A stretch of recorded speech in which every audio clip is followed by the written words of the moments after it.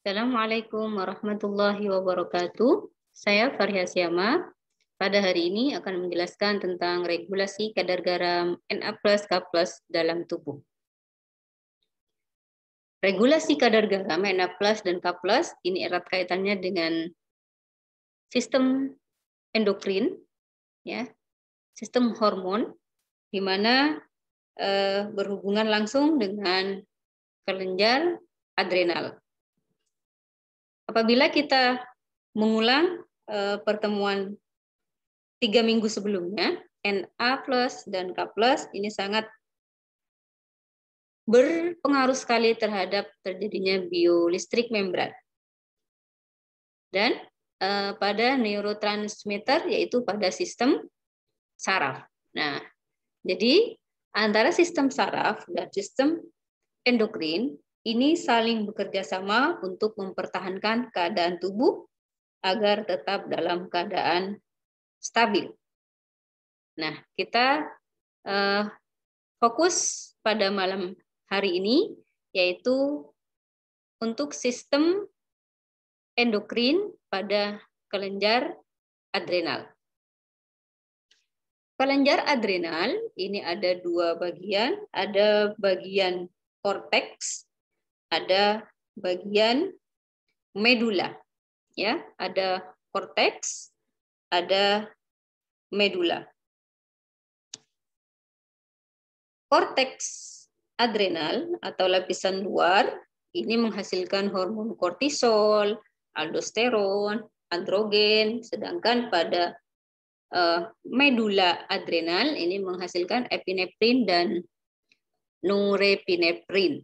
Ya, pada malam hari ini fokus pada hormon aldosteron yaitu untuk regulasi uh, garam Na+ dan K+. Bagaimana mekanisme dan aksi dari aldosteron?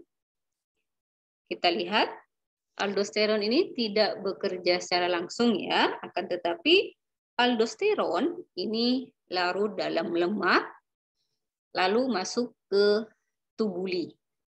Ya, tubuli maksudnya di mana? Di bagian uh, ginjal. Ya, pada uh, proses reabsorpsi di ginjal. Ya, kalau kita perbesar lagi, dilihat uh, ada bagian tubuli di sini. Nah, di situ plasma aldosteron diikat reseptor spesifik atau protein. Nah, ini yang warna kuning dan warna biru, ini awalnya ada di luar yaitu di sitoplasma. Ya, dan dia akan masuk ke dalam inti sel. Maka protein kompleks tadi setelah masuk ke nukleus menginduksi DNA dan terbentuk mRNA ya mRNA masuk ke sitoplasma untuk menghasilkan protein yang sesuai berperan mengatur mineral. Nah, pengaturan sekresi aldosteron ini ini sangat berkaitan dengan kondisi tubuh kita. Apa? Yaitu cairan tubuh ya dan volume darah. Contohnya ketika kita terjadi dehidrasi, ya atau uh, volume darah luka atau kecelakaan ini akan mempengaruhi uh, aksi dari uh, aldosteron. Selain itu, faktor mempengaruhi sekresi aldosteron yaitu ada kadar ion K plus ekstrasel, sistem renin, angiotensin, kadar ion K ekstrasel, eh sorry, kadar ion Na ekstrasel dan ACTH. Nah, kita lihat selanjutnya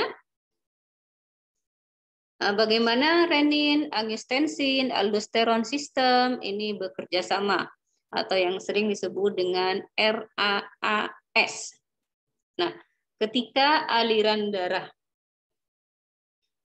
ketika aliran darah ginjal berkurang, ya, sel-sel juktaglomerulus di ginjal ini mengubah prekursor prorenin yang sudah ada di dalam darah menjadi renin dan mengeluarkannya langsung ke sirkulasi. Nah, renin ini ya, renin plasma kemudian melakukan konversi angiostensinogen. Dirilis oleh hati, angiostensinogen dirilis oleh hati. Ini renin eh, akan mengubah menjadi angiostensin 1.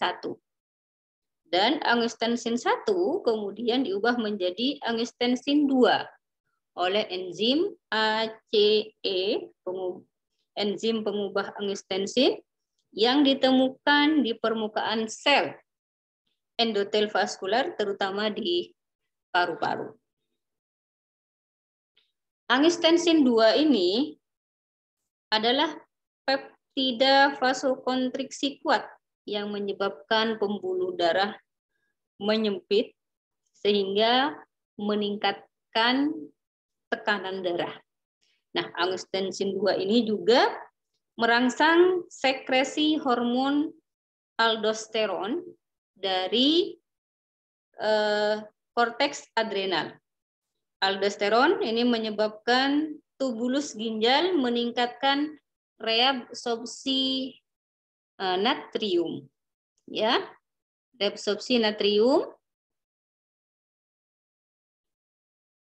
ke dalam darah. Reabsorpsi natrium yang akibatnya menyebabkan reabsorpsi air ke dalam darah. Sekaligus menyebabkan ekskresi kalium untuk menjaga keseimbangan elektrolit.